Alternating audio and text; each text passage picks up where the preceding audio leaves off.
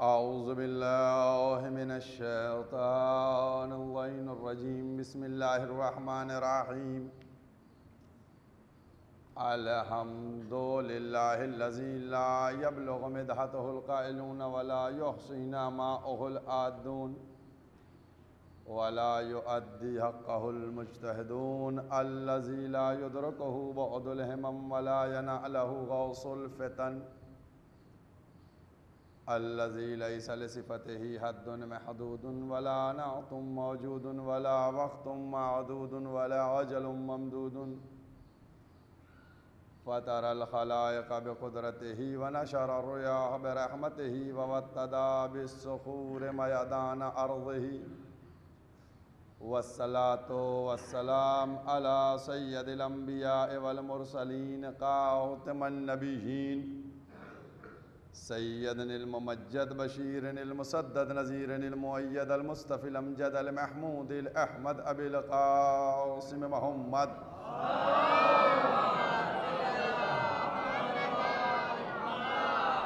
وأهل بيته طيبين الطاهرين المعصومين المظلومين. أما بعد، فقد قال الله سبحانه تبارك وتعالى في كتابه المحكم وخطابه المدقن وقوله الأحسن بسم الله الرحمن الرحيم وقفوهم إنهم مسؤولون صلوات فرد محمد وعلى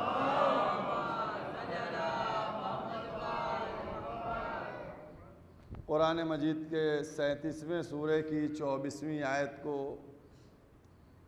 مسلسل سرنامہ قرار دے کر اس سلسلے گفتگو کو آگے بڑھا رہے ہیں۔ ان الفاظ کا ترجمہ ہے، وقفوہم، ان کو روکو، ان کو ٹھہراؤ، انہم مسئولون، ان سے ابھی ایک سوال کرنا ہے، ایک جواب ان سے اور چاہیے۔ اس موقع کے لیے لکھا کہ جب سب اپنا حساب و کتاب دے کر اب یہ سمجھ رہے ہوں گے کہ ہم جنت کی طرف بڑھیں گے، تب یہ ندا آئے گی کہ ابھی ان کو روکو، ان سے ایک سوال اور ہونا ہے۔ آپ دیکھیے، کل میں نے جہاں پر گفتگو کو روکا تھا کہ اللہ نے ہر چیز، کیا کہا؟ تمہارے لیے بنایا۔ زمین و آسمان پہ جو کچھ ہے، وہ سب کس کے لیے؟ تمہارے لیے۔ ظاہر باطنی سب چیزیں تمہارے لیے ہیں۔ اللہ ہر چیز ہمارے لیے چاہتا ہے اور ہم کو وہ اپنے لیے چاہتا ہے۔ ہم کو وہ اپنے لیے چاہتا ہے۔ جو تمہاری ضرورت ہے جو تم کو حاجت ہے جو تم چاہتے ہو، وہ ہم تم کو دیں گے۔ لیکن تم میرے ہو جاؤ۔ تم ہمارے ہو جاؤ۔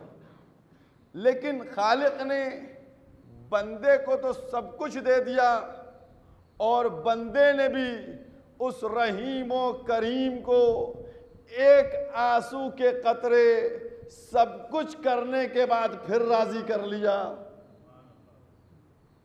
سب کچھ کیا، لیکن اس کے سامنے ایک آنسو گرایا، توبہ کی، جو دل چاہا مانگا۔ وہ رحمان ہے، رحیم ہے، کریم ہے، اس نے سب کچھ دے دیا تم کو۔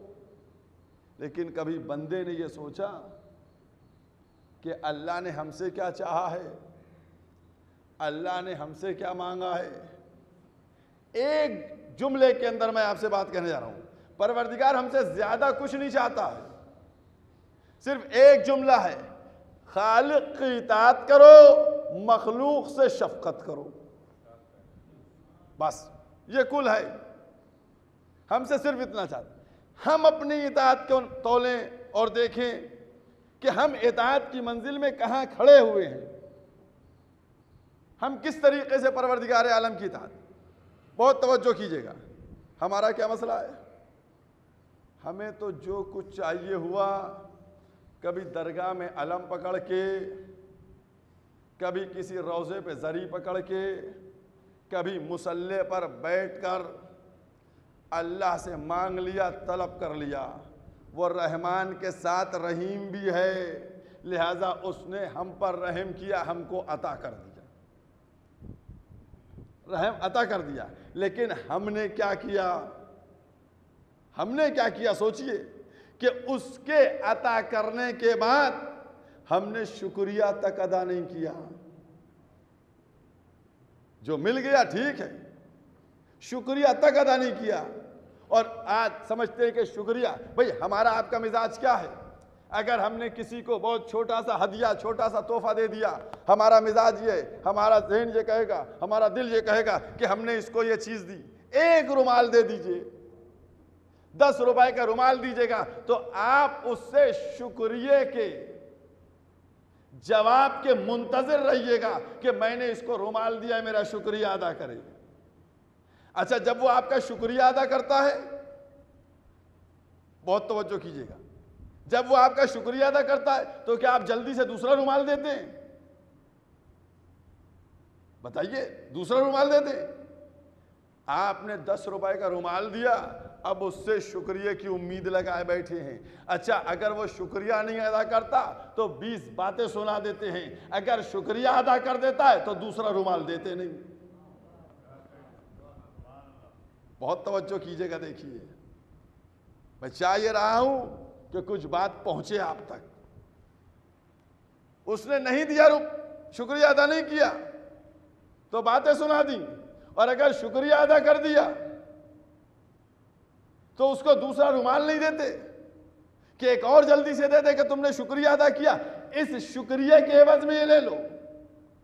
یہ ہمارا بشر کا مزاج ہے کہ شکریہ کے بعد دیتے نہیں ہیں، لیکن وہ خالق کائنات ہے کہ جس نے تم کو ہر لمحہ نعمت دی، ہر موقع نعمت دی جب تم نے مانگا تب دیا اور اس نے تم سے یہ نہیں کہا کہ شکریہ ضرور ادا کرو اس نے کہا اگر زیادہ چاہتے ہو تو شکریہ ادا کر دو، ہم اور دے دیں گے۔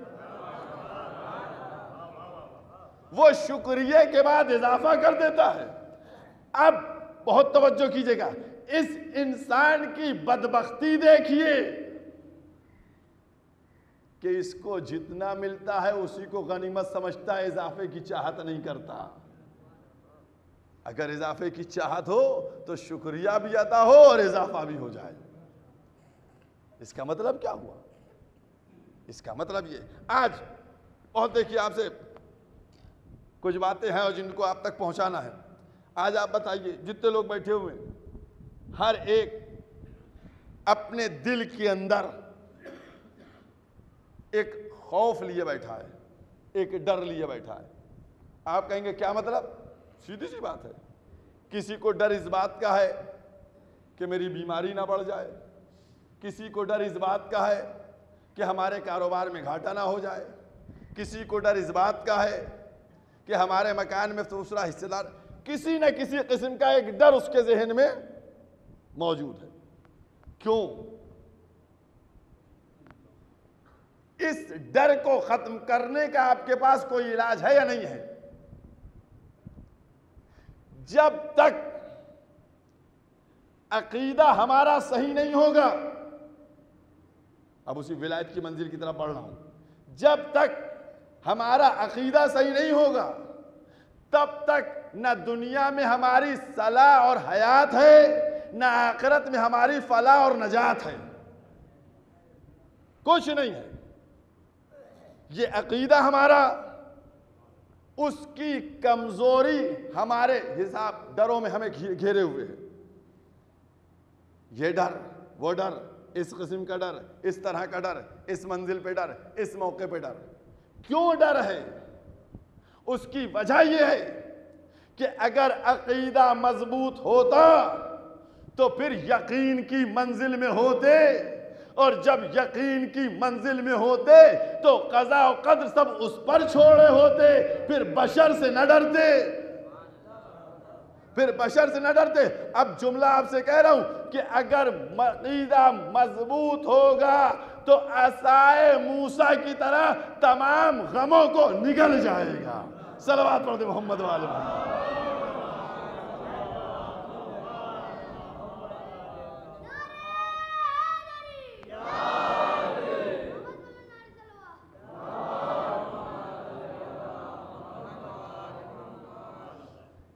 مسئلہ ہے۔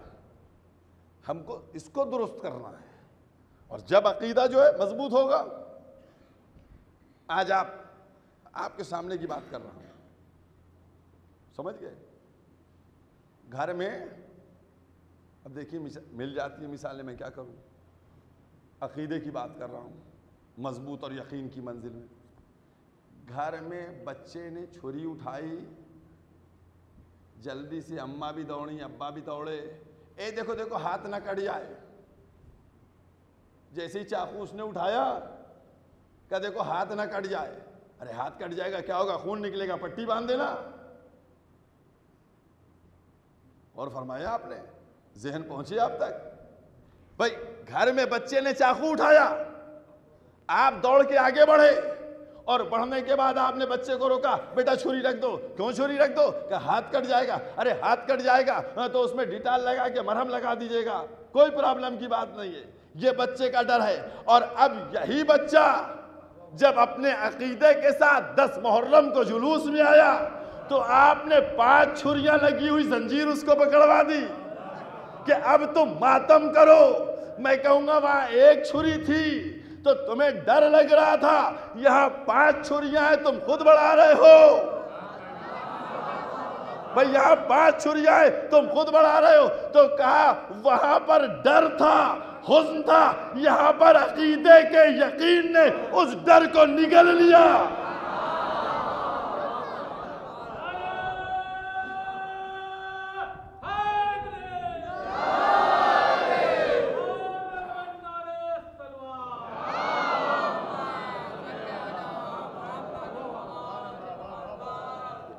بات ہے۔ اس کو کوئی ایسی بات نہیں ہے کہ کوئی الجھے اور پریشان ہو بھائی، یہ کیا ہے؟ دیکھیے آپ۔ تو صرف خلاصہ وہیں پر پلٹ کیا آیا کہ ہم کو عقیدے کو مضبوط رکھنا ہے، یقین کی منزل میں رہنا ہے۔ اور جب یقین ہوگا، ہم کو اپنے عمل کا یقین ہے۔ جب ہم کو یقین ہے کہ ہم اللہ سے ڈرتے ہیں، اللہ کی اطاعت کرتے ہیں تو پھر بندہ ہمارا کیا بگاڑے گا؟ اس لیے لازم ہے کہ عقیدے کو مضبوط رکھا جائے۔ اور جب عقیدہ مضبوط ہوگا تو پھر کوئی حزن و ملال نہیں ہوگا۔ آج جو بھی جو بھی حزن و ملال کے شکنجے اور پنجے میں نظر آئے، سمجھ لیجیے گا عقیدے کا کمزور ہے۔ کیونکہ اگر اللہ سے ڈرتا ہوتا تو پھر کسی سے نہ ڈر رہا ہوتا۔ ایک سلوات پڑھ دے محمد والے۔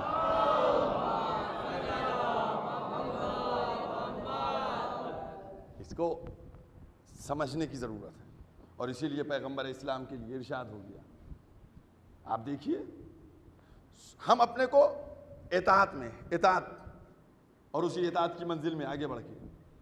قرآن مجید کا چھٹا سورہ سورہ نام آیت کا نشان ایک سو ترسٹھ۔ قل ان الصلاتی نسک محیا مماتی للہ رب العالمین دیکھیے آپ، کیا ہے اس کا مطلب؟ پیغمبر سے کہا جا رہا، قل کہہ دو کہ تمہاری عبادتیں، تمہاری نماز، تمہاری حیات، تمہاری موت للہ، اللہ کے لیے ہے۔ پوری حیات پیغمبر کو سمیٹ کر کہا یہ اللہ کے لیے ہے۔ للہ، اللہ کے لیے ہے۔ اور اس کے بعد کیا کہا؟ کون اللہ؟ رب العالمین۔ جو کائنات کا پالنے والا ہے۔ غور فرمایا آپ نے۔ خالق کائنات نے اس پیغام کے ذریعے سے دنیا کو بتا دیا کہ محمد کی عبادت بھی ہماری ہے۔ محمد کی نماز بھی ہماری ہے۔ محمد کی حیات بھی ہمارے لیے ہے۔ محمد کی موت بھی ہمارے لیے یعنی کل محمد صرف اور صرف اللہ کے لیے ہیں۔ کچھ سمجھ میں آ رہا ہے، محمد صرف اللہ کے لیے ہیں۔ تو محمد اگر اٹھیں گے تو اللہ کے لیے، بیٹھیں گے تو اللہ کے لیے، چلیں گے تو اللہ کے لیے، کھائیں گے تو اللہ کے لیے، نماز پڑھیں گے تو اللہ کے لیے، سوئیں گے تو اللہ کے لیے، ہر عمل اللہ کے لیے ہے۔ ہر عمل اللہ کے لیے ہے۔ تو بس یاد رکھیے، اگر کسی در پہ ٹھہر کے سلام کریں گے تو اللہ کے لیے، اور اگر کسی کے لیے ناکا بنیں گے تو اللہ کے لیے۔ اگر محمد کسی کو بٹھائیں گے بزم میں تو اللہ کے لیے، اور اگر کسی کو بزم سے اٹھائیں گے تو اللہ کے لیے۔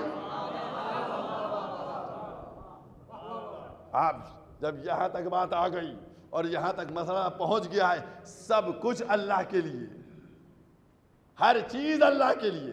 تو پھر یاد رکھو یاد رکھو کہ اب اگر محمد نے ہر عمل اللہ کے لیے انجام دیا، تو غدیر کے میدان میں اگر کسی کو بلند کر کے من کن تو مولا ہو فہاز علی مولا کہا، تو یہ کسی اور کے لیے نہیں، بلکہ اللہ کے لیے کہا۔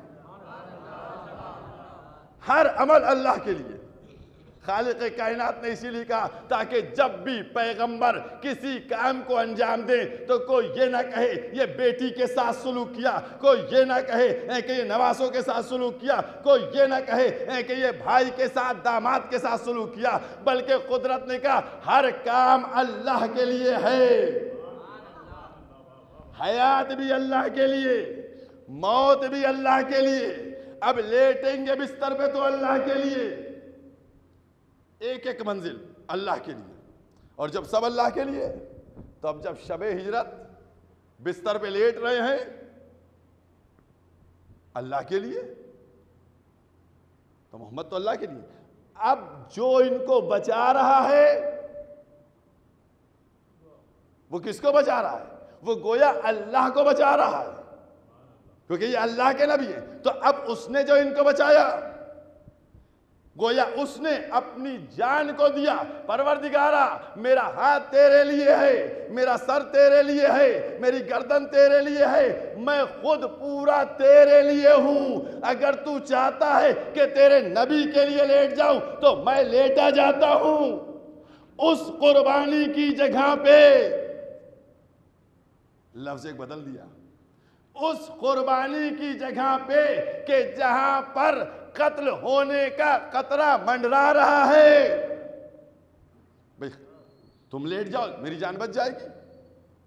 اب یہاں تک جب ذہن آپ کیا گئے پروردگارا میں لیٹا جاتا۔ اچھا آپ ایک اور، آ گئی یہ بات ذہن میں، تو ایک جملہ آپ سے کہتے چلو، ایک سلوات پڑھ دے، محمد والے، محمد۔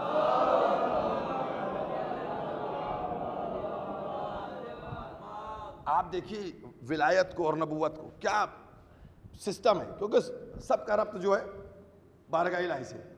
پیغمبر نے کیا کہا تھا؟ علی، میرے بستر پہ تم سو جاؤ۔ ٹھیک ہے؟ میری جان بچ جائے گی۔ یہی تو جملہ تھا۔ سب کو معلوم ہے یہ جملہ تھا۔ مولائے کائنات نے پلٹ کر یہ جواب نہیں، سوال نہیں کیا۔ کہ یا رسول اللہ، آپ کی جان تو بچ جائے گی، میری جان کا کیا ہوگا؟ یہ کہیں ملتا ہے آپ کو؟ کہ مولا نے کہا ہو، یا رسول اللہ، ٹھیک ہے، میں لیٹا جاتا ہوں۔ کہا؟ نہیں کہا۔ پیغمبر نے اس کے بعد کیا کہا؟ میری جگہ لیٹ جاؤ، میری جان بچ جائے گی اور تم کل فلا مقام پر مل جانا۔ ہے نا؟ پوری بات ہے سب، ایک ایک چیز آپ کے سامنے، کوئی چیز ایسی ہے نہیں کہ جو ماشاءاللہ سے ان مجالس کے توفیل میں آپ کے کانوں تک پہنچی نہیں ہے۔ اب آپ بتائیے آپ مولائے کائنات کو یہ کوئی سوال رکھنا چاہیے تھا نا؟ یا رسول اللہ، آپ جیسا فرما رہے ہیں ویسے ہی انجام دوں گا، میں بالکل لیٹ جاؤں گا۔ لیٹ جاؤں گا۔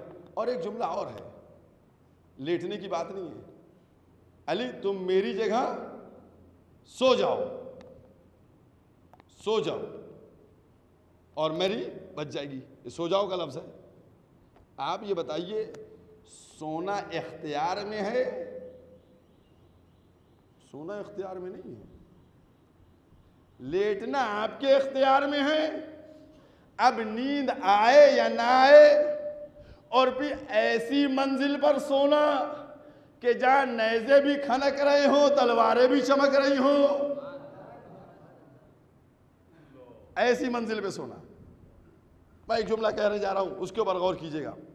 میں نے جو سوال ایک کھڑا کیا، کہ پیغمبر اسلام نے جب کہا کہ علی تم میرے بستر پہ سو جاؤ، میری جان بچ جائے گی، تو اب مولا کائنات کو پوچھنا چاہیے تھا کہ یا رسول اللہ، میں آپ کے بستر پہ سو جاؤں گا، لیکن میری جان کا کیا ہوگا؟ میری سیکیورٹی کا کیا ہوگا؟ میری حفاظت کا کیا ہوگا؟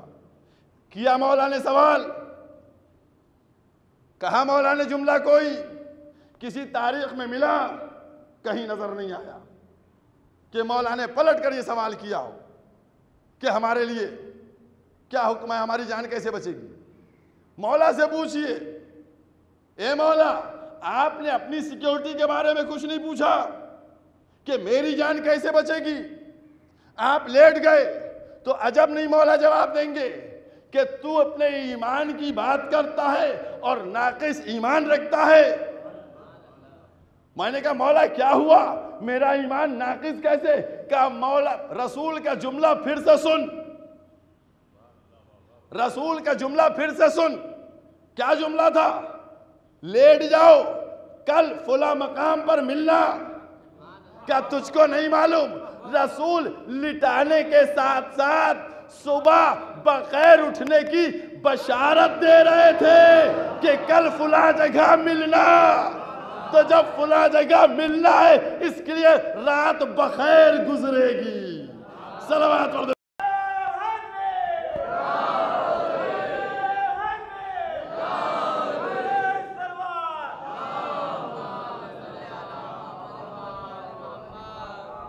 رات بخیر۔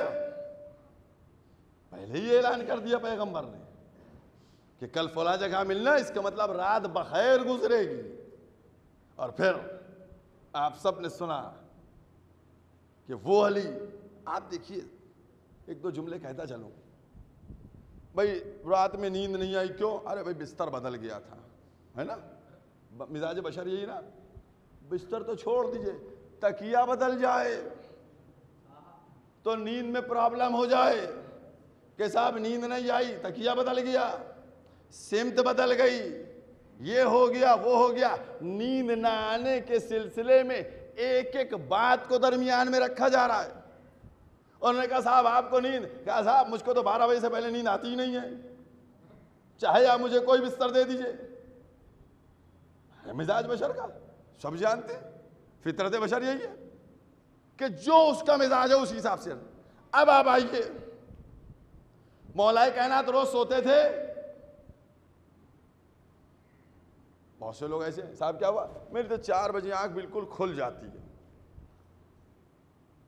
کیوں؟ صاحب، چار بجے کا ایک دم میرے ذہن میں الارم لگا رہتا ہے، جیسی اذان کا وقت ہوتا ہے، کھل جاتی ہے۔ چار دن سے اٹھنے لگے نماز کے لیے۔ تو صاحب، میرے ذہن میں نماز کا الارم لگا رہتا ہے، میں اٹھ جاتا ہوں۔ ہے نا؟ یہی تو کہتے ہیں۔ اب بتائیے، مولا کائنات سوتے تھے روز؟ روز سوتے تھے؟ عبادت میں رہتے تھے۔ تو روز جو سوتا نہ ہو، اس کو آج نیند کیسے آ گئی؟ یہ بات فکر کرنے کی ہے۔ بھائی، روز اچھا آج تو نیند ویسے بھی نہیں آنا چاہیے تھی۔ آج نیند نہیں آنا چاہیے تھی۔ آپ کہیں گے، کیوں؟ میں کہوں گا، ویسے بھی جاگتے تھے۔ اور آج تو اور ایسے مسائل تھے کہ جن کے اوپر ہم بات کر سکتے ہیں کہ نیزے بھی کھنک رہے تھے، گفتگویں بھی ہو رہی تھیں، تلواریں بھی چمک رہی تھیں، آج کون سوئے گا؟ آج کس کو نیند آئے گی؟ لیکن پورا معاملہ الٹا ہوا کہ روز جاگتے تھے۔ آج سو رہے ہیں۔ اے میرے مولا، ارے آج کیوں سب الٹ گیا؟ آپ روز جاگتے تھے، عبادت کرتے تھے، آج آپ سو رہے ہیں، آپ کی عبادت کے لیے کیسے آخری کھلی؟ تو عجب نہیں میرے مولا جواب دے، تو نادان ہے، میں کچھ اپنے لیے نہیں کرتا ہوں، سب کچھ اس کے لیے ہوتا ہے۔ روز جاگنا اس کی عبادت ہوتا تھا، آج اس بستر پہ سونا اس کی عبادت ہے۔ سلوات پڑھ دے محمد وآل محمد۔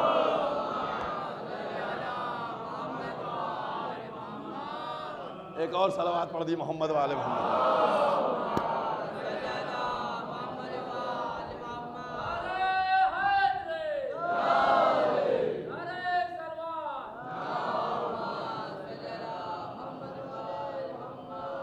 بتایا، پہچانوایا؟ بس اسی لیے پروردگار عالم نے۔ کیا کہا کہ علی، تم سو رہے ہو۔ رسول سے ذریعے سے کہ اب تم ہمارے لیے ہو، تو ہماری مرضی تمہارے لیے ہے۔ اب انہوں نے سب ان کو کر دیا حوالے، تو اللہ نے اپنی مرضی ان کے حوالے کر دی۔ یہ وہ منزل ہے جس منزل کو پروردگار سمجھانا چاہ رہا تھا کہ دیکھو، اطاعت کیسے ہوتی ہے؟ اطاعت کی منزل کیا ہے؟ اور جب یہاں پر آ گئے، تو ایک دو جملے تو اور کہوں گا۔ قرآن نے اللہ نے کسی کے بھی احسان کو ٹھکرایا نہیں ہے۔ ہر ایک کی بات کی ہے۔ جس نے اچھائی کی ہے۔ بھائی غار میں جب گئے، قرآن مجید کا انتیسواں سورہ کون سا ہے؟ سورہ انکبوت ہے۔ کس کا سورہ ہے؟ کیا سورہ کا نام ہے؟ اس کے معنی کیا ہوئے؟ مکڑی مکڑی کا کیا عمل تھا؟ مکڑی کا کیا کردار تھا؟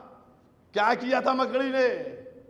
ایک دفعہ رسول کی جان بچائی تھی۔ اس غار پہ جالا لگا دیا تھا۔ غار پہ جالا لگایا تھا۔ تو نظام الہی یہ تھا کہ اس مکڑی تک کو فراموش نہیں کیا گیا۔ غور کیا آپ نے؟ اس مکڑی کو بھی فراموش نہیں کیا گیا۔ سورہ اس کے نام سے رکھا گیا قرآن میں۔ تو میں کہنا یہ چاہتا ہوں کہ اگر مکڑی، جال بنا کے دشمنوں کو موڑ دے کہ ادھر کوئی نہیں گیا ہے، تو اس کے لیے نام سے پورا سورہ اتر آئے۔ تو جو اس رسول کے بستر پہ سوئے، تو کیا اس کے لیے ایک آیت بھی نہ آئے؟ اور یاد رکھیے گا، ایک آیت میں نے کیا کہا کہ پروردگار عالم، ہم یہ کہہ رہے ایک آیت ہے، لیکن حقیقت میں یہ ایک آیت نہیں ہے۔ ایک آیت نہیں ہے، یہ پوری قدرت ہے کہ میری مرضی علی کے پاس ہے۔ اب اللہ کی مرضی نہیں ہوگی، جو مرضی ہوگی، وہ علی کی مرضی ہوگی۔ انہی کی مرضی ہوگی۔ یہ عظمت ہے۔ اس مرتبے کو پہچنوایا جا رہا ہے اور اس چیز کو سمجھایا جا رہا ہے۔ اور جب جو کچھ ہوگا انہی کا ہوگا، تو پھر ہم کو تلاش بھی کرنا ہے کہ دیکھیں انہی کی مرضی چلتی ہے۔ تو آئیے آپ کے سامنے ایک واقعہ پیش کرتے سلوات پڑھ دے محمد والے ہوں۔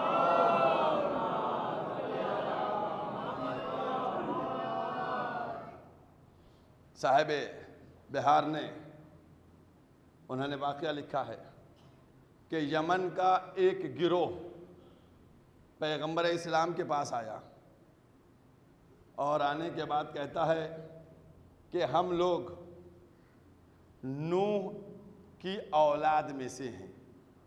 جناب نوح کی اولاد میں سے ہیں۔ اور جناب نوح نے اپنا وزیر اپنے بیٹے سام کو بنایا تھا۔ آپ نے اپنا وزیر، اپنا خلیفہ کس کو بنایا؟ ہے پیغمبر اسلام نے فرمایا کہ میرے وزیر، میرا جانشین علی ابن ابی طالب علیہ السلام۔ انہوں نے مولا کائنات کی طرف اشارہ فرمایا کہ ان کو بنایا۔ کہا تو پھر کیا یہ جو ان سے کہا جائے گا وہ کر دیں گے یہ؟ ایک ایک مرحلے میں غور کیجیے گا۔ میں نے میں نے کہا ثبوت بھی تو دیتا چلوں نا آپ کو کہ آپ لوگ کہیں گے، چیزیں آپ کے سامنے ہونا چاہیے۔ کہا ان سے جو کہا جائے کر دیں گے۔ کہا ہاں بالکل کر دیں گے۔ کہا تو ہم ان سے چاہتے یہ ہیں کہ یہ ہمیں سام ابن نو کی زیارت کروا دیں۔ تو پیغمبر نے فرمایا کہ بس اتنی اتنی سی کی زیارت۔ اگر کہو تو ابتدا سے لے کر انتہا تک سب کی زیارت کروا دیں۔ اب مولا کی طرف متوجہ ہوئے۔ اور کہا کہ کیا آپ ہم کو زیارت کروائیے گا؟ کہا، یہیں بیٹھ کے کرنا چاہتے ہو یا تمہارے گھر پہ زیارت کرواؤں؟ ایک ایک لفظ پڑھا ہوا ہے۔ یہیں پڑھ، زیارت کرنا ہے گھر پہ۔ کہا، مولا، یہاں آ گئے ہیں، تو اب یہیں زیارت کروا دیجیے۔ مولا، مسجد کے اندر لے گئے۔ محراب کے پاس پہنچے۔ اور محراب کے پاس پہنچنے کے بعد آپ نے ایک دفعہ اپنے قدم کو پٹخا جیسے ہی قدم کو پٹخا، ویسے ہی زمین میں شگاف ہوا۔ جیسے ہی زمین میں شگاف ہوا، ایک خوبصورت سفید ریش والا شخص برآمد ہوا اور اس نے کہا، میں سام ابن نو ہوں۔ واقعات ایک دم مدلل۔ صاحب بہار۔ بالکل۔ میں سام ابن نو ہوں۔ اور اس کے بعد سام ابن نو نے کہا اشہد ان لا الہ الا اللہ اشہد ان محمد رسول اللہ اشہد ان علی وسیع رسول اللہ کچھ سمجھ میں آیا؟ کچھ سمجھ میں آیا؟ تم مولا مانو، وسیع مانو یا نہ مانو، سابقین سے لے کر سب ولایت علی کا اقرار کر رہے ہیں۔ ہر ایک تسلیم کر رہا ہے۔ اور پھر جناب سامنے اسی انداز سے پورا کلمہ پڑھا۔ کیا کہا؟ اشہد ان لا الہ الا اللہ اشہد ان محمد رسول اللہ اشہد ان علی وسیع رسول اللہ۔ اور اس کے بعد جملہ کہا، اب یہ یمن کا جو گروہ تھا، یہ کہنے لگا کہ میں یہ چاہتا ہوں کہ تصدیق کر لیں۔ انہوں نے اپنی کتاب میں دیکھا، جو نشانیاں تھیں، وہ ساری نشانیاں ان میں موجود تھیں۔ کا ساری نشانیاں آپ سام ہیں، لیکن تصدیق کے لیے میں چاہتا یہ ہوں کہ کوئی صورت پڑھ کر سنا دیں۔ اس کے بعد انہوں نے ایک صورت پڑھی اور صورت پڑھنے کے بعد پھر انہوں نے سلام مولا کائنات کو کیا اور اسی صندوق میں جا کر لیٹے زمین برابر ہو گئی۔ بس جیسے ہی یہ منزل دیکھی، اس آئے ہوئے گروہ نے فوراً کلمہ پڑھا اور سب کے سب ولایت علی کا اقرار کرتے ہوئے مسلمان ہو گئے۔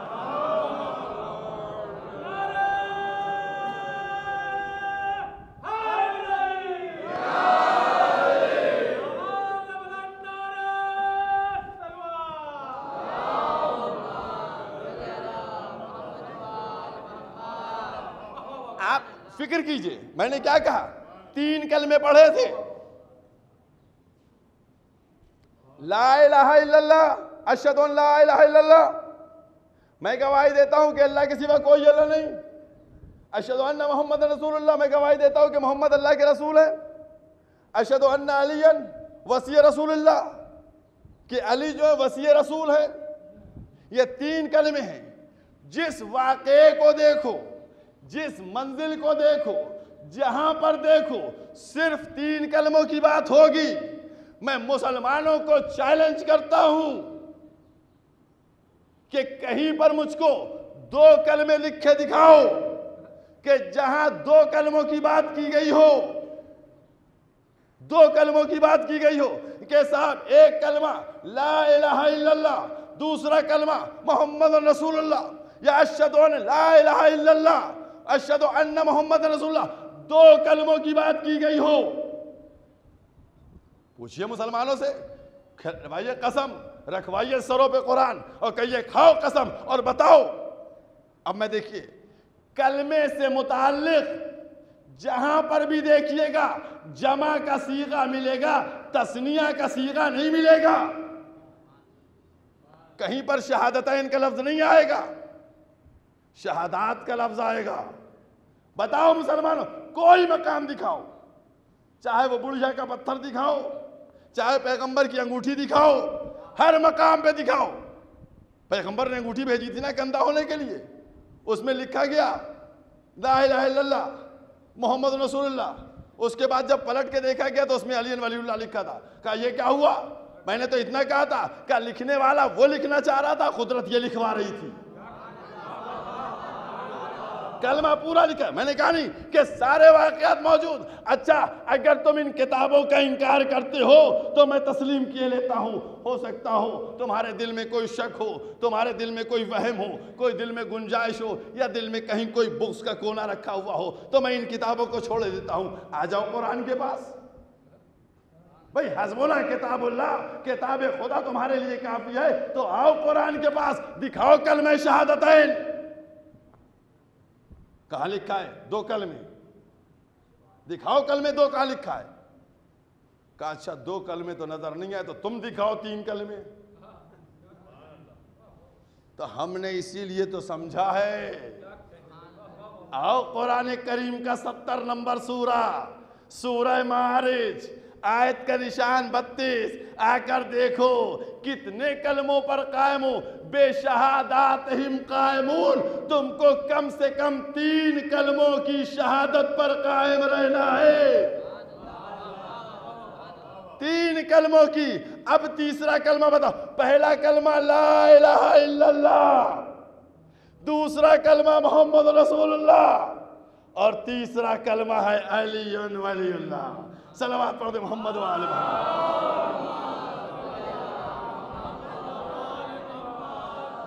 قرآن نے جمع کا سیغہ استعمال کیا ہے۔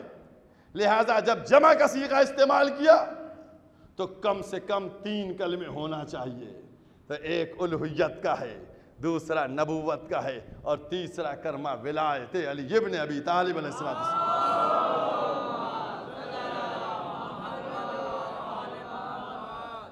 جب یہاں پر آ گیا ہوں، معاملہ ولایت کا سب سے نازک تھا۔ اور ولایت کے مرحلے کے اوپر، آپ دیکھیے، ولایت کے مرحلے پر ہوا کیا؟ لا الہ الا اللہ پہنچایا گیا ہے اس میں کوئی خطرہ تھا؟ لا الہ الا اللہ پہنچانے پہ کوئی خطرہ تھا؟ تھا خطرہ۔ سب دشمن تھے۔ محمد رسول اللہ پہنچایا گیا، خطرہ تھا نہیں تھا؟ تھا خطرہ۔ ایک ایک مرحلے کو سمجھیے آپ۔ جب پیغمبر اسلام حج آخر سے واپس آ رہے تھے اور ولایت کو پہنچانا تھا تو کیا کہا؟ واللہ یاسم کا من الناس۔ اللہ تم کو لوگوں کے شر سے محفوظ رکھے گا۔ ہے نا؟ یہ دعوت رضول الشرا کے موقع پر اللہ نے کہا۔ کہ محمد تم الوحیت کا پیغام پہنچاؤ، اللہ تم کو لوگوں کے شر سے محفوظ رکھے گا۔ نبوت کے کلمے کو پہنچانے کے لیے یہ آواز آئی کہ پیغمبر تم اپنی نبوت کا اعلان کرو، اللہ تم کو لوگوں کے شر سے محفوظ رکھے گا۔ کہا، بات آئی، آیت ملا، جملہ ملا، کچھ نہیں ملے گا۔ لیکن یہاں جملہ کہہ رہا ہوں، ایک سمجھیے گا۔ یہاں کیا کہا؟ اللہ تم کو لوگوں کے شر سے محفوظ رکھے گا۔ اس کا مطلب یہ ہوا کہ نگاہ قدرت ان حاجیوں میں کچھ پاجی دیکھ رہی تھی۔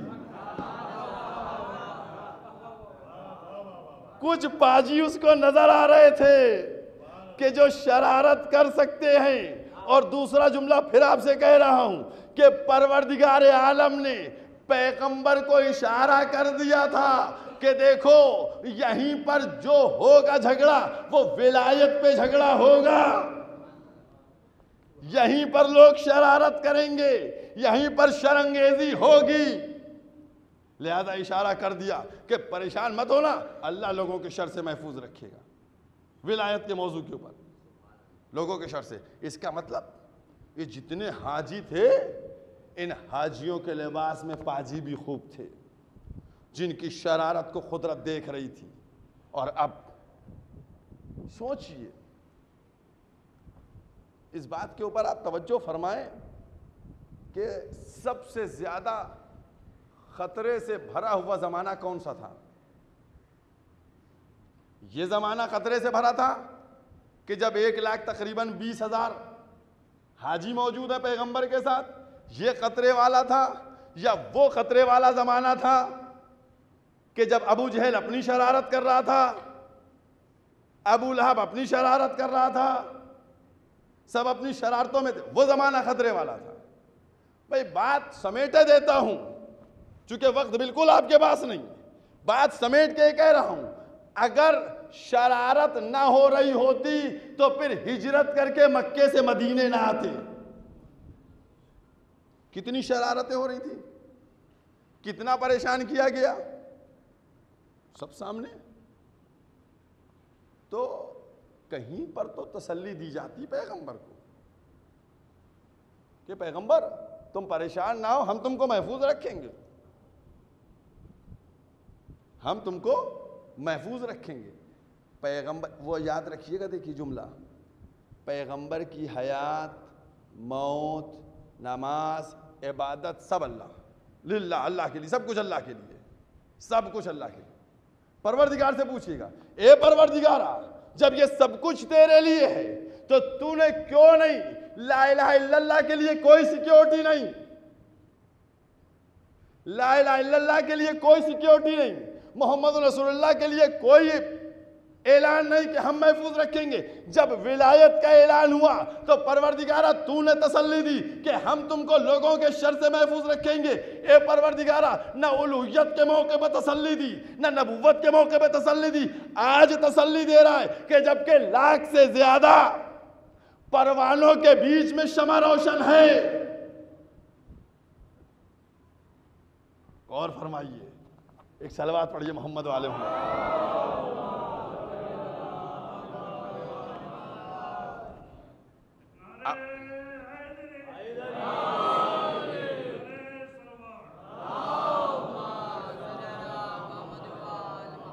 بس بات کو میں ختم کر رہا ہوں۔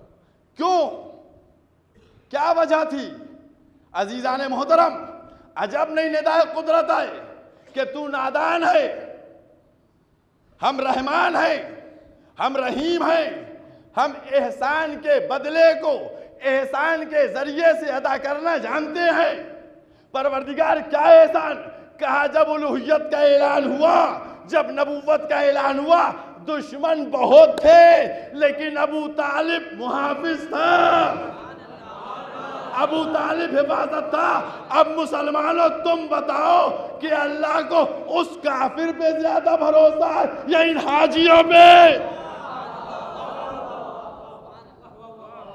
اب منزل آگئی دیکھیے۔ اللہ کیا آواز دے گا؟ اللہ آواز دے گا، تو نادان ہے، تجھ کو پتہ نہیں۔ اے جب میری الوحیت کا اعلان ہوا اور دشمن اکھٹا ہوئے، تو ابو طالب نے حفاظت کی تھی۔ تو اب اگر ابو طالب کے لال کی ولایت کا اعلان ہوگا، تو اللہ اس کی جا کر حفاظت کرے گا۔ صلوات پڑھ دے محمد و آل محمد۔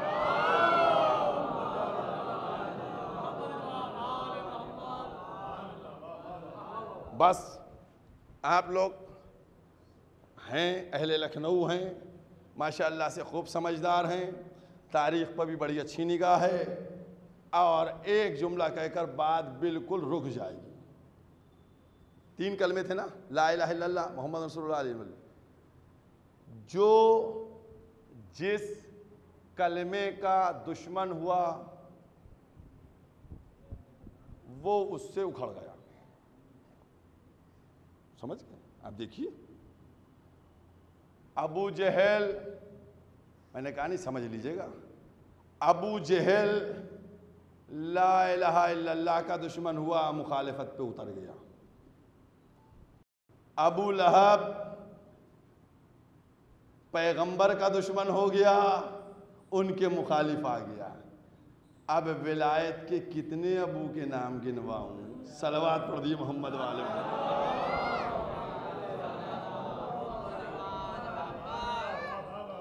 ایک اور سلوات پڑھ دی محمد والے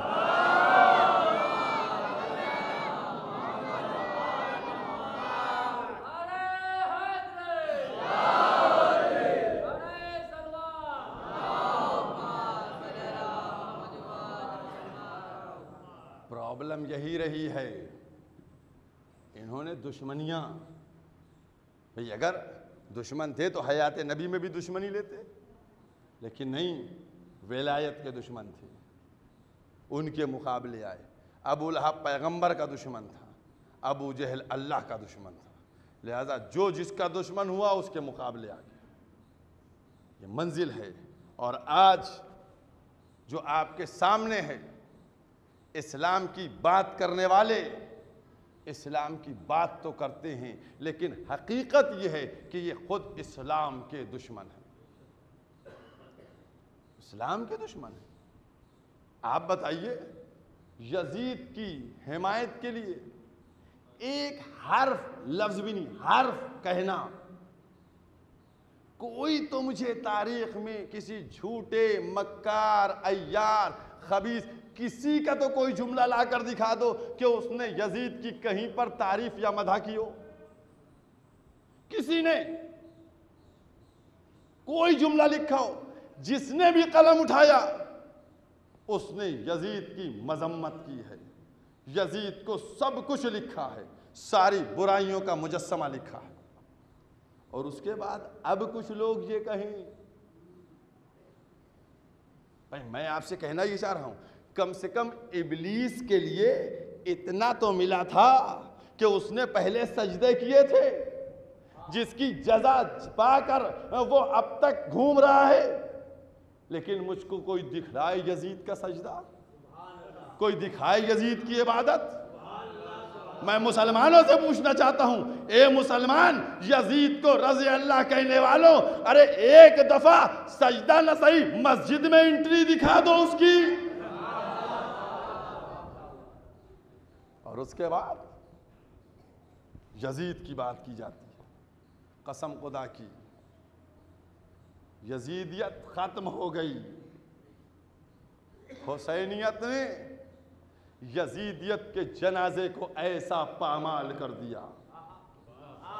ایسا پامال کر دیا کہ آج اگر ڈھونڈیے تو چار کی بات نہیں، ایک بھی کندھا اس کو سہارا دینے کے لیے نہیں بڑھ سکتا۔ آئے کوئی؟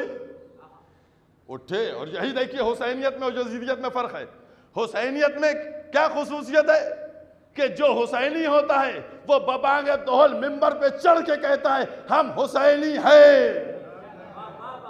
ہم حسینی ہیں۔ ہاتھوں کو اٹھا کر پرچم بلند کر کے کہتا ہے، ہم حسینی ہیں۔ تو میں کہنا یہ چاہتا ہوں کہ اگر ہو یزیدی اور رکھتے ہو زبان منہ میں، تو کیوں نہیں بلند ہو کے کہتے کہ ہم یزیدی ہیں؟ عزیزو اس کا مطلب تم کو خود احساس ہے کہ یزید نام نہیں گالی ہو گیا ہے۔ بس، بغیر کسی ربط کے اب وقت نہیں بچا ہے۔ کیونکہ کتنی تیزی سے یہ ایام گزر رہے ہیں۔ آپ بتائیے ابھی چند لمحوں پہلے، چند لمحوں پہلے آسمان پہ محرم کا چاند نظر آیا تھا۔ اور آج چار محرم کی صبح ہو گئی، سورج طلوع ہو گیا۔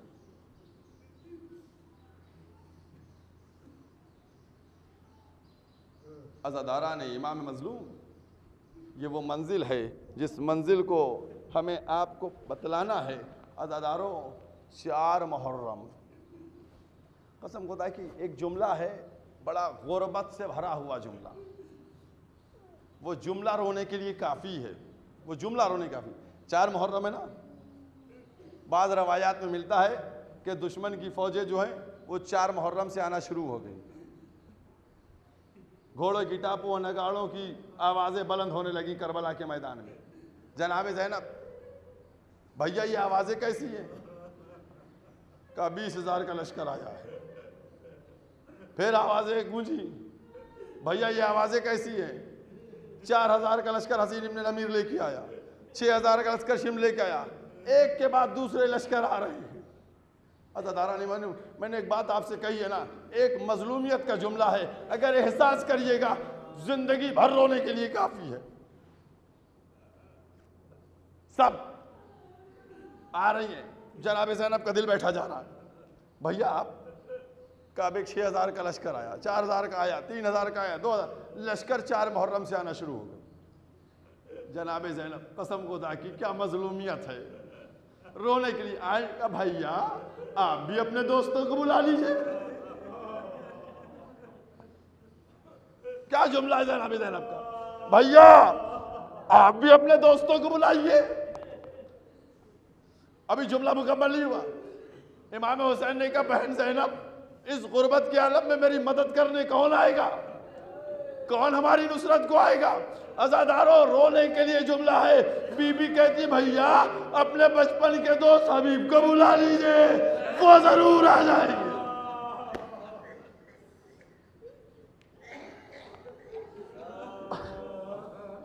ازاداروں جناب زینب، اگر ایک بوڑھا دوست آ جائے۔ بہن کو کتنی تسلی مل رہی ہے۔ جناب زینب نے بھائی سے کہا، امام حسین نے خط لکھا، بھیجا۔ حبیب ابن مظاہر گھر میں اپنی شریک حیات کے ساتھ دسترخوان پہ بیٹھے کھانا نوش فرما رہے تھے۔ ایک دفعہ ایک لقمہ گلوگیر ہوا۔ آواز بلند کی، اللہ اکبر۔ زوجہ نے پوچھا، کیا ہوا؟ کہا، میرے حلق میں نوالا پھنس گیا۔ لگتا ہے کوئی محترم آنے والا ہے۔ فوراً دخل باب ہوا۔ آواز دی کون؟ آواز دی باہر سے آواز آئی میں حسین کا قاصد ہوں۔ جلدی سے آئے، باہر نکل کر۔ بہت تیز رفتاری کے ساتھ باہر آئے۔ خط کو لیا، پڑھا، پڑھنے کے بعد بوسا دیا بوسا دینے کے بعد پڑھا اور پڑھنے کے بعد موڑا، لے کے اندر گئے۔ زوجہ بیٹھی ہوئی ہیں۔ کہا آقا کا خط آیا ہے؟ کہا ہاں۔ کہا، کیا لکھا ہے؟ کہا، مدد کے لیے بلایا ہے۔ کہا تو بھی تم نے کیا سوچا؟ حبیب فرماتے ہیں کہ میں نے کہا کہ یہ یزید کا اور حسین کے درمیان کا معاملہ ہے۔ اور اس میں ہمیں کیا جا کے ضرورت ہے جانے کی، بیچ میں پڑھنے کی؟ لہٰذا میں نہیں جاؤں گا۔ زوجہ نے حبیب کے چہرے کو دیکھا۔ کہا، حبیب، تم یزید اور حسین کا درمیان کا معاملہ کہتی ہو۔ حبیب، اگر تم کو نہیں جانا ہے تو تم نہ جاؤ، بہانے نہ نکالو۔ اے حبیب، تم نہ جاؤ، میرا ڈبٹا تم لے لو، میری چوڑی تم لے لو، اپنی تلوار ہم کو دے دو۔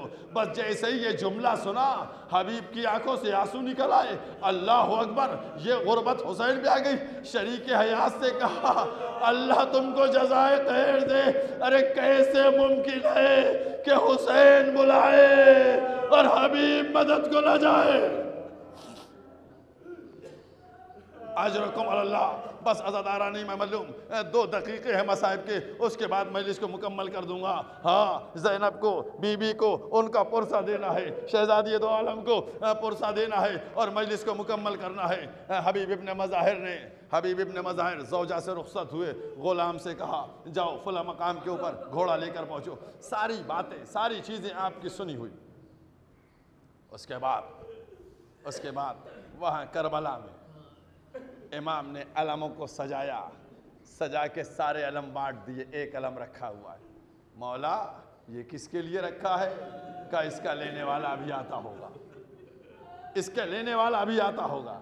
اور اس کے بعد کچھ دیر نہ گزری تھی کہ راہ کوفہ سے ایک غبار سی اٹھی۔ امام مسکرائے کہ عباس، آگے بڑھو۔ علی اکبر، آگے بڑھو۔ کہ کون؟ کہ جاؤ مہمان آ رہا ہے۔ میرا بچپن کا دوست حبیب ابن مظاہر آ رہے ہیں ازاداران امام حضور صرف غربت کے دو جملے پڑھوں گا مسائب اسی پر روئیے گا۔ ازاداران امام حضور حبیب ابن مظاہر پہنچے، آقا کو سلام کیا، استقبال ہوا، سلام کیا، علم ملا۔ جیسے ہی حبیب پہنچے تو آوازیں بلند ہو گئیں۔ گفتگو کی آوازیں بلند ہو گئیں۔ آئے تھے، آوازیں بلند ہو گئیں۔ جیسے ہی آوازیں بلند ہوئیں، جناب زینب نے فضہ کو بھیجا۔ جاؤ فضہ۔ دیکھو، یہ آوازیں کیسی آ رہی ہیں؟ آوازیں بلند کیوں ہو گئیں؟ گفتگو کی آوازیں تھوڑا تیز ہو گئی ہیں۔ جاؤ، دیکھ کے آؤ۔ آئیں۔ آنے کے بعد معلوم کیا، معلوم ہوا کہ حبیب ابن مظاہر آئے ہیں۔ عزاداران امام تو بس، میں دو جملے پڑھنے جا رہا ہوں اور ان جملوں میں ساری مصیبت ہے۔ غربت، غریب زہرا، ان کی غربت۔ یہ خانوادہ رسالت کی غربت ہے، اس کے اوپر دو جملے کہوں گا۔ ازاداران امام مظلوم، جیسے ہی جناب زینب کو پتا چلا، حبیب ابن مظاہر آ گئے۔ حبیب کو کہا، جا کر میرا سلام کہہ دو، میرا شکریہ ادا کر دینا۔ فضہ در قیمہ پہ پہنچی، کہ اے حبیب، تمہارا مقدر، رسول کی نواسی تم کو سلام کہتی ہے۔ حبیب حبیب حبیب مکاتب ہوئے۔ سلام سنا، جواب سلام دیا۔ اور اس کے بعد جناب فضہ نے کہا، جناب فضہ نے کہا، اے حبیب، علی و فاطمہ کی بیٹی تمہاری شکر گزار ہے۔ بس جیسے ہی شکریہ کے لفظ کو لیا، حبیب ابن مظاہر نے چہرے بتماشے مارے۔ اے پروردگارا، ارے یہ وقت آ گیا کہ رسول کی دولت غلاموں کا شکریہ ادا کرے۔ جزاکم اللہ خیر الجزا مجلس مکمل ہو گئی۔ آپ کی گریا کی صدائے بلند ہوئی۔ مجلس مکمل ہو گئی۔ بس ازاداروں جناب حبیب ابن مظاہر، اب وہ وقت آیا کہ جب صبح عاشور صبح عاشور نمودار ہوئی۔ ایک ایک منزل، ایک ایک منزل۔ چاہنے والوں نے امتحان دیا اہل حرم کو تسلی۔ ایک ایک دو, دو جملوں کا ایک واقعہ بیان کرتا چلوں۔ ازاداروں چاہنے والے چھ سار میں لیے ہوئے تھے قیام حسینی کو۔ ایک خیمے سے جناب زینب کی آواز کان میں آ گئی کسی کے۔ بھیا کل قیامت کا دن ہے۔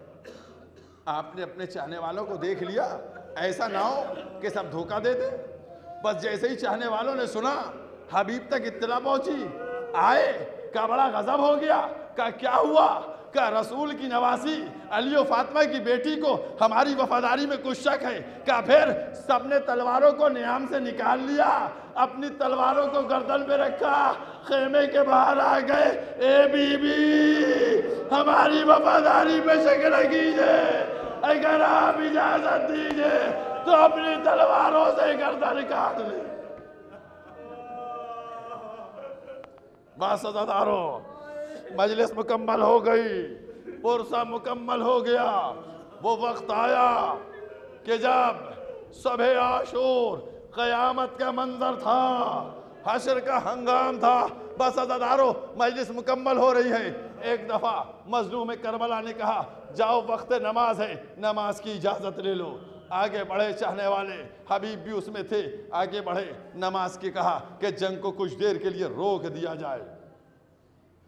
جنگ کو کچھ دیر کے لیے روک دیا جائے تاکہ نماز ادا کر لی جائے۔ بس جیسے ہی یہ جملہ کہا گیا، یزیدی فوج کے اس سپاہی نے کہا، حسین سے کہو، اب نماز کوئی فائدہ نہ دے گی۔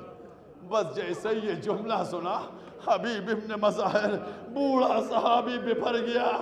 خدمت حسین میں آئے کہ مولا، مجھ کو اجازت دیجیے۔ کہ نماز کہ نماز اب آپ کے جد کے پیچھے پڑھوں گا۔ ارباب مقاتل نے لکھا، میدان میں پہنچے۔ جنگ کرنا شروع کی۔ دشمنوں کو واصل جہنم پہنچایا۔ ایک وقت وہ آیا کہ جب آواز بلند کی، آقا، میرا سلام آخر قبول ہو۔ بس ازادارو مجلس مکمل ہو گئی، مجلس ختم ہو گئی۔ حبیب ابن مظاہر زین سے زمین کی طرف آ گئے ہیں۔ زمین پر پہنچے امام حسین حسبیب کے سرانے پہنچے۔ سر کو زانو پہ رکھا اے حبیب، تمہارا شہادت بڑی شاخ ہے۔ آزادارو، یہ دوستی تھی، یہ چاہت تھی۔ آزادارو، حبیب کے لاشے کو اٹھایا۔ بس آزادارانی محمد ایک ایک دقیقہ بھی نہیں بچائے ایک جملہ کہہ کر مجلس کو مکمل کر دوں گا۔ حبیب کے لاشے کو۔ حسین، عمر کتنی ہے؟ ستاون سال کی عمر ہے۔ ازادارو تین دن سے زیادہ کے بھوکے پیاسے ہیں۔ حسین کی مصیبت کے جانتے ہیں آپ کیا عالم ہے؟ کتنے لاشوں کو اٹھا چکے؟ ازادارو اب تم تصور کر کے بتاؤ، حسین نے حبیب کے لاشے کو اٹھایا۔ اٹھانے کے بعد مختل کی طرف چلے اور مختل کی طرف پہنچ کر وہاں حبیب کے لاشے کو رکھا، رکھ کے سجا دیا۔ اب درمیان میں بیٹھ کے مولا نے گریا شروع کیا۔ ازادارو یہ چاہنے والے، یہ ناصر، یہ مددگار، یہ کس طریقے سے سامنے شہید ہوئے؟ سب کے لاشوں کو مختل میں سجایا۔ اے ازادارو ارے یہی تو وہ منزل تھی کہ ارباب مقاتل نے لکھا کہ جب حسین جنگ کر رہے تھے تو ایک ایک کو آواز دے رہے تھے، اے حبیب، اٹھ کے اپنے آقا کی جنگ دیکھو، اے عباس، اپنے آقا کی جنگ دیکھو، ایک ایک کو پکارتے جاتے تھے، جنگ کرتے جاتے تھے، اور جب دشمن بھاگتا تھا تو کہتے تھے، اب تم کہاں بھاگتے تم نے میرے دوستوں کو مار ڈالا۔ تم نے میری اولاد کو مار ڈالا۔ تم نے میرے بھائی کو مار ڈالا۔